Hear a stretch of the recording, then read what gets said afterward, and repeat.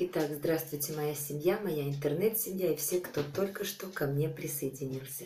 Я вас всех люблю, особенно тех, кто мне дает тепло, позитив, спасибо, слова благодарности. Девочки, я принимаю все ваши слова благодарности и также вам э, тоже хочу спешить, спешу и хочу и спешу э, сказать, что я вас всех люблю.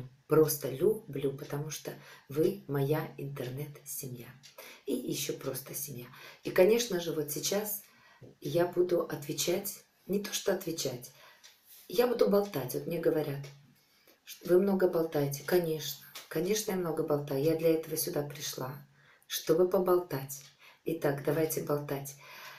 Но поскольку это интернет-семья в эфире, поэтому я озвучивать буду сегодня вас. Под каким видео сегодня мы с вами будем разговаривать? Мы будем разговаривать под двумя видео. Первое видео, что сегодня на антивирусный обед от 20 ноября. И второе видео, а, это про ту няню.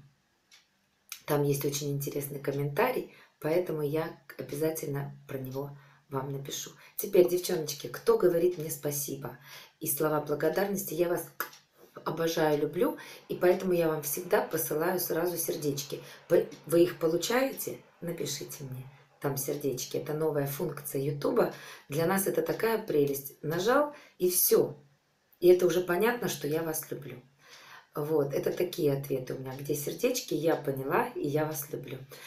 А девчонкам, которые вопросы задают, такие серьезные вопросы на тему веры, моей веры, на, на тему их веры, на тему их проблем. Вот тут я написала, это будут еще сейчас впереди видео, и я обязательно вам отвечу. Теперь просто, девчонки, вот пишет анонимус, my name. Можно имя написать, все будет хорошо, потому что я люблю с именами. Э, вот вы пишете, вы большая умничка, я сегодня обязательно приготовлю такой супчик – Катя, вы даете такой позитив и настроение поднимается. Вот ради этого я здесь ставлю вам сердечко. Ради этого я здесь. Вы знаете, вот я получила ваш комментарий. У меня вот так вот дух наполнился. И я понимаю. Вот жалко, что я по имени не могу к вам обратиться. И помолиться я за вас не могу по имени. Ну что же это такое? Написано «Anonymous my name». Ну и как? Вот как? Вот я же хотела бы благословить, не могу. Нет, я могу, я благословляю этого человека, кто это написал. Дай Бог ему здоровья. Дай Боженька ему всего самого хорошего, всего того, что он сам себе желает. Но я не вижу имени. Я хотела бы назвать по имени и послать в э, Господу Богу ваше имя. Дальше идет Ира, Ирочка. Я тоже такие супчики варю, только никогда мясо с картошкой не соединяю. Давайте, девчонки, я, наверное, одену, может быть, очки. Нет, давайте так. Никогда не соединяю. А я соединяю. Сыр никогда не добавляю. Спасибо. Попробуй обязательно. Сыром очень вкусно, это раз. А во-вторых, девочки, я это делаю насыщенно более. Я сама картошку не ем, практически не ем. Я ее уже заменила почти полностью на топинамбур. Привыкала долго, но заменила. А моим мальчикам нужно иногда картошку, там для мужчин иногда надо, но немного надо. И вот я туда добавляю. Дальше идет Натальюшка аккаунт. Она мне всегда пишет, всегда меня поддержит. Да еще вчера жарила рыбку и пюрешка. Была готова, забылась. Наташенька рыбку жарила и пюрешка. Умничка. Теперь, когда у меня, девочки, видео такое, что сегодня на обед, это значит, я очень хочу заглянуть в вашу кастрюльку. Я хочу посмотреть, а что у вас сегодня на обед. Потому что, ну, знаете, как вот женщины есть женщины. Женщины любят общаться. И я хочу посмотреть, что у вас... Вы знаете, заглянув э, кое-кому в кастрюльку, например, к Зубайде, я просто, просто, просто облизнулась. Сейчас вы послушаете. Дальше. Зубайда пишет. Смотрите, что она мне пишет. Она мне пишет. Я готовила штрули на обед. Штрули. А я не знаю, что такое штрули. И я спрашиваю ее, а что это? И она пишет. Послушайте внимательно, что Зубайда готовила. Это, это вообще интересно. Вот послушайте. Это мясное блюдо. Послойно ставится в кастрюлю. Смотрите как. Мясо, картошечка, морковь, лучок и тонко раскатанное тесто, смазанное внутри маслом. Кто каким хочет. Сворачиваем в рулет, режем на дольки и тугим, а и тушим на медленном огне до готовности. Все. Вот это называется, еще бы посмотреть, да, это называется штрули. Вот такое интересное э, название у такого блюда, которое я никогда раньше не слышала о нем. А теперь стоит попробовать, и я попробую. Она, причем-то так просто она это объяснила, молодец. Дальше мне пишет Реал Лена, реальная Лена. Она мне пишет, у меня тоже куриный суп. Леночка молодец. И ответственность за здоровье семьи я на себя всегда чувствую. Это не просто процесс, это наука. И от нее многое зависит. Браво, Катя, обнимаю тебя виртуально, к сожалению. Ну ничего, у нас все впереди еще. Дальше пишет Лизочка. Спасибо, Катюша. Катя, молодец, умничка Лиза. Вам тоже спасибо, вы меня всегда поддерживаете. А, и во всех отношениях. Светлана пишет, Владимировна, да, Катерина, я поняла, я тоже варю рисовый суп на бульоне, но я перестала варить супы с картошкой. Молодец, умничка. Картошку не нужно. Чем реже, тем лучше. Но я сейчас добавляю, для мальчиков добавляю. Для себя вообще картошку исключила. А здесь так к месту цветная капуста. Да еще из нее сделать пюре, да. Это как раз для меня просто супер. Да, кстати, вот такое вот суп-пюре – они съедают на раз. А если я им просто там э, цветную капусту побросаю, они начинают дурака валять, знаете, то вытаскивать, то... А тут у меня и лук вареный в пюре, и он так сделан в э, моем блендере, что вообще вы даже не заметите, не заметите, как, что вы съели. Дальше. Катюша, спасибо, завтра приготовлю. Очень уж аппетитно выглядит. У меня был борщик. Это у Наташи Макаренко был борщик. На следующей неделе у меня будет борщик. Дальше. Светлана Владимировна. Благодарю за вкусный рецепт. Овощной суп сварю. Обязательно по вашему рецепту. Это был не овощной. Я ей написала домашней курочки. Дальше. У меня на обед была цветная капуста с яичницей, Светлана Владимировна написала. Олечка Филенко, Катюша, от одного вида такого супчика становится здоровее и сильнее. Да, Олешка. А, значит, что еще здесь у меня написано? Вот, Оля пишет. Пока стоят морозы, мы с мужем налепили домашних пельменей. Очень-очень вкусных, но не очень полезных.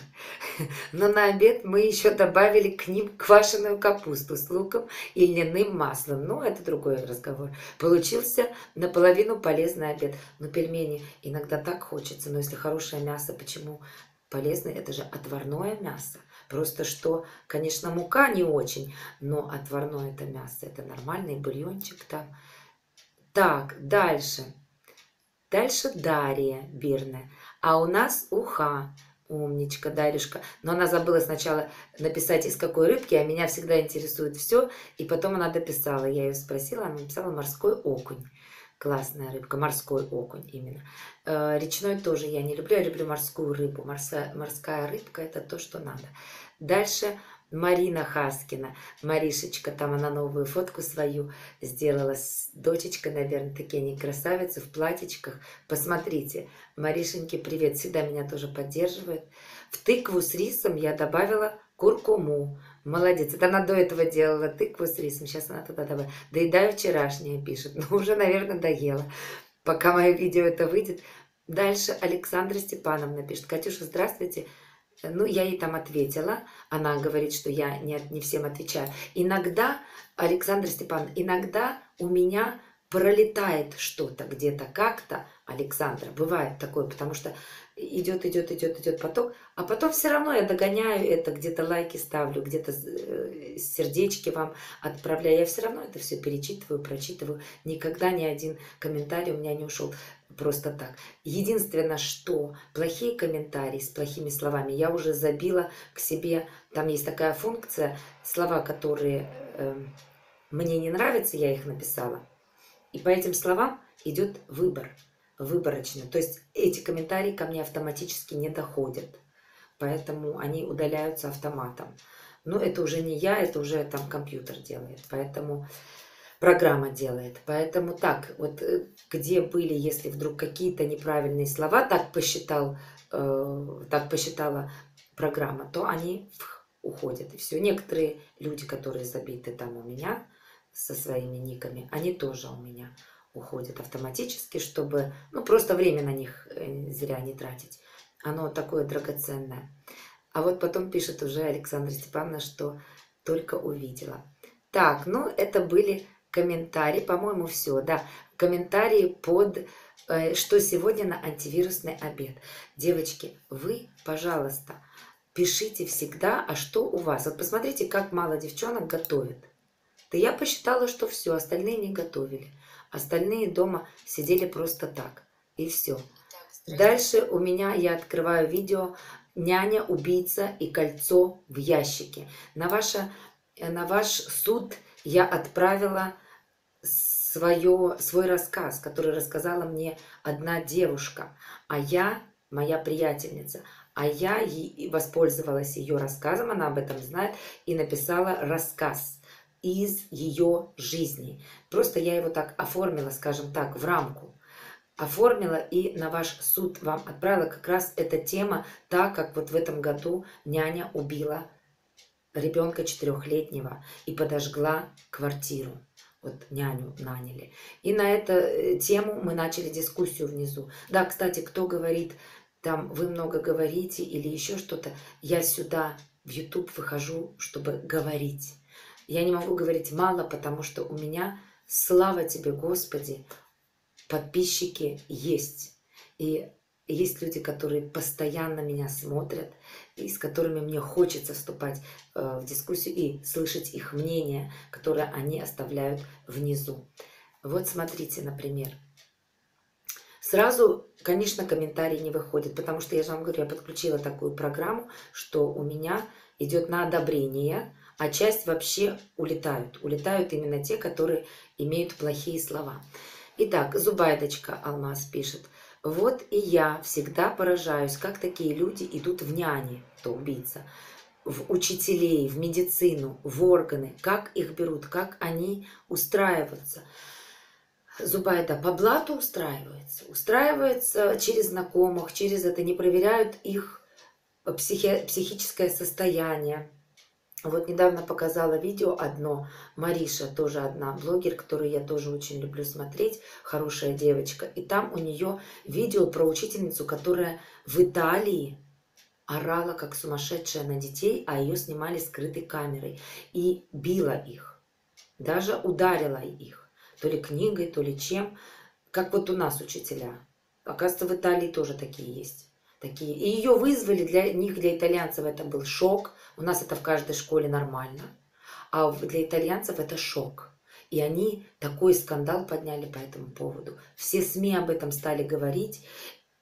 Они сделали шоу, они вызвали ее на это шток-шоу, они начали с ней беседу проводить. Они, в общем, ее отстранили от работы. Не знаю, не помню насколько, но отстранили. Вот вот так. А у нас, да, у нас вы никак не узнаете. Шизофреник он очень хорошо скрывает. Но вот весной, как раз это произошел случай с убийством ребенка четырехлетнего весной, в марте, то тогда как раз у них происходит вот это, э, как бы у них происходит весной и осенью, у них происходит такая высший пик их э, психической деятельности, они прогрессируют. Именно идет сильный прогресс в этот период времени. А так они вроде как нормальные. В этот момент их нужно подлечивать. А видите, она больной человек, а ее никто не подлечивал. И вот у нее был как раз срыв в этот момент. Это страшное дело. Конечно, сейчас никто не держит в больницах никого просто так. Поэтому ну, поэтому так и все и происходит. За всех надо платить. Медицина вся практически платная, э, взятошная. Поэтому в основном больные люди гуляют по улицам, нанимаются на работу под видом. Они как лисы проникают в дом. а дальше уже держитесь. Так, дальше. Катюша, Олечка пишет, Филенко, э, моя красавица. Катюша, вы написали прекрасный рассказ. Жалко, что такой грустный. Чтобы было о чем задуматься. Это же, это же из жизни, Оленька, это из жизни. Марина Хаскина пишет, вот она, Маришечка. Катюша, рассказ составляет задуматься, что нельзя покупаться на пирожки. Это уж точно, именно на пирожки. Надо быть бдительным. Многие семьи э, нанимают няню, устанавливают видеонаблюдение, а вы, Катюша, талантлище с любовью. М. Моя красавица. Я купаюсь в ваших очень талантливых, умных, самое главное, проницательных комментариях. Такие комментарии классные. Вот. Вам люблю. Сердечки послала. Все. Дальше. Наталья ДМ. Наталья ДМ. Может быть, Наталья Дмитриевна. А может быть, Наталья Дмитриева. Ну, в общем, еще Наташа. У меня несколько Наташенек, и вот одна из них Наталья ДМ. Добрый вечер. Очень впечатлил ваш рассказ. Когда я лежала на сохранении в роддоме, я познакомилась с женщиной. Слушаем. Которая долгое время работала няней. Так вот, она рассказывала. Работала она у богатых людей. А последняя работа перед декретом была у людей очень и очень богатых. Она по образованию воспитатель детсада. Нужно было иметь обязательно рекомендацию, которые проверялись. Каждые полгода она проходила полный медосмотр с кучей всевозможных анализов. Обследование оплачивал работодатель в указанном ими медучреждении. Даже зубы, кожа, ногти полностью должны были быть здоровыми. Работала она по строго разработанному режиму и распорядку дня. Она должна была быть очень чистоплотной, аккуратной, до педантизма, имела один выходной в неделю, а, все, а все остальное время жила, занималась только ребенком. Даже по телефону разговаривала в строго определенное время. Такая работа была хорошо и хорошо оплачивалась. Проработала год и больше не захотела продлевать контракт было тяжело. Я спросила, привязывалась ли она к детям. Она ответила, что старалась сделать свою работу максимально хорошо и выполнять все условия контракта, а любить чужого ребенка она не обязывалась. Вот такое знакомство с няней было у меня. Вот, видите как. Вот Наталья интересную какую историю написала. Ведь и хорошую зарплату платили девушки, и все, но условия, видно, ее так в жестких рукавицах. Ну, а что же вы хотели, девочки? За хорошую оплату надо хорошо работать. А как вы думаете? Везде так за границей. Надо пахать. Надо, хочешь зарабатывать, паши. Любить, пишет, э, вот мне не понравилось вот это вот, что любить чужого ребенка она не обязывалась. Я вам скажу, девчонки, что любую работу нужно любить. Если вы пошли на это с ребенком, то ребенку нужно отдавать часть себя. Любить, ко всему подходить с любовью. И вот тогда бы ей бы не пришлось увольняться, научиться любить чужого ребенка.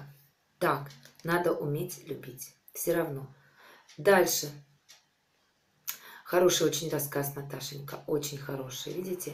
И будем знать. Вот это, а кстати, вот это правильно. Подход родителей к этой няне очень правильный. Смотрите, и ногти, и руки, и зубы, состояние зубов, потому что, ну, вдруг она к нему там что-то, знаете, как бывает, все бывает.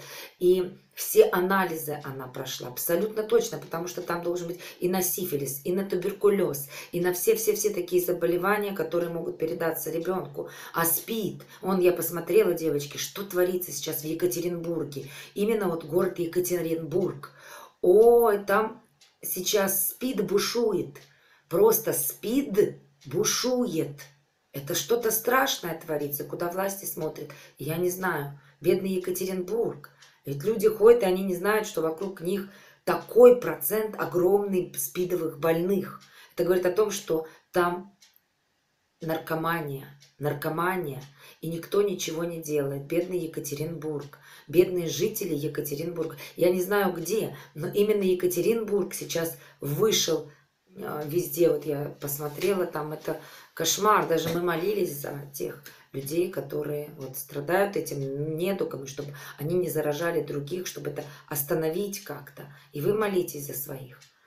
Особенно девчонки, которые из России у меня. Молитесь за Екатеринбург, потому что там эпидемия страшная. Сегодня там, завтра у вас появится, потому что они все равно попрут оттуда дальше. Так, дальше пошли. Очень актуальная тема, спасибо. Это Ирина Панова. Да, Ириша. Еще Ириша написала, очень хочется доверять людям. Рассказ встряхнет многих, особо доверчивых. Еще раз большое спасибо. Да, вы знаете, мы иногда расслабляемся. Но, Ирочка, вот я вам скажу, что с молитвой, с верой все возможно. У нас в церкви э, все можно найти и всех можно найти. И няни у нас есть в церкви. У нас в церкви есть и парикмахеры, и по уходу за Э, ну, косметологи. И все, кто хотите, у нас в церкви есть. Мы как-то сплачены. У нас есть врачи, у нас есть педагоги. И вот благодаря тому, что наша церковь как муравейник живой, и мы все общаемся, и мы все друг друга благословляем, то у нас, слава Богу, все отлично. Всех можно найти, кого нужно. Дальше. Послушав с интересом, мне понравился ваш рассказ. Вообще любая церковь это должно быть, должна быть община. Община прежде всего община. Вот и все. Вот мы этой общиной живем, и нас много, нас очень много.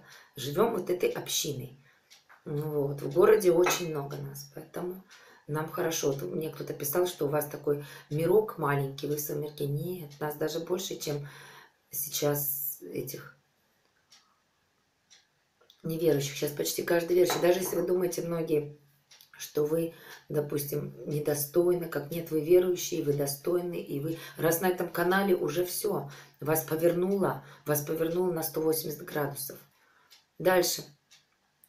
Александра Раковская пишет. Послушала с интересом, мне понравился ваш рассказ. Большое спасибо. За это вам сердечко дарю. Спасибо.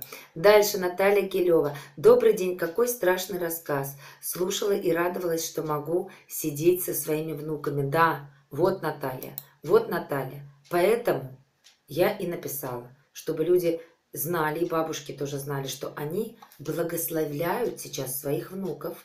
И не только внуков, они еще благословляют своих детей. То есть они не зря живут, они благословляют. Вот это и есть благословение – вы, Наташенька, благословляйте своих детей, своих внуков на данный момент. Потому что каждый день мы что-то должны спрашивать, что я сегодня, кого я сегодня смогу благословить, кому чего доброго я могу подарить сегодня. Дальше. Теперь Натали аккаунт. Наташа. Это значит Натали моя Натали. Ой, это я переименовала ее э, ник. У нее ник Наталья аккаунт. Наталья это счет или, может быть, она бухгалтер. Наталья аккаунт. А я сказала, Натали моя Натали. Вот так я назвала ее канал. У меня есть Наталья Гилева, у меня есть Наталья ДМ, у меня есть Наталья, Натали моя Натали. Ой, Катюша, какие еще скрытые таланты. Настоящий рассказ получился. Так, там у меня еще э, стих еще один есть, еще одно стихотворение. Уже я его почти все изорвала, но, но вам не прочитала, но прочитаю. Какие еще скрытые таланты? Господь Бог вообще меня наградил столько, Он столько талантов дал мне.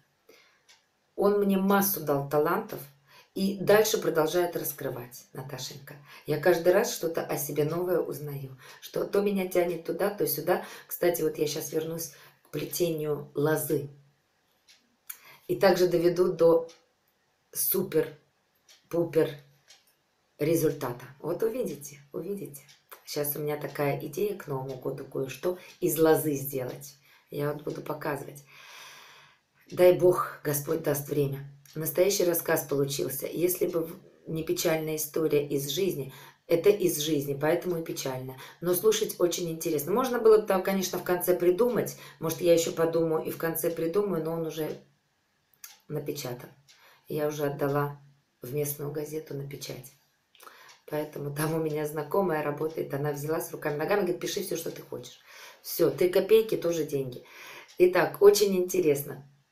в отношении няни полностью согласна. Как по мне, так уж лучше детсад, чем непроверенные люди. Очень-очень нужно подумать, прежде чем оставить своего ребеночка. Абсолютно с вами согласна. Девчонки, пишите свои истории, пишите, все мне интересно, все безумно интересно, потому что, вы знаете, все истории из жизни, все чужие истории, все, я все использую в своих э, рассказах, в своих книжках, потому что, ну иначе никак. Мы берем все из жизни. А иначе неинтересно. Из пальцев высасывать неинтересно. Только из жизни. Я вас всех люблю, целую. Ваша Катя. Пока-пока.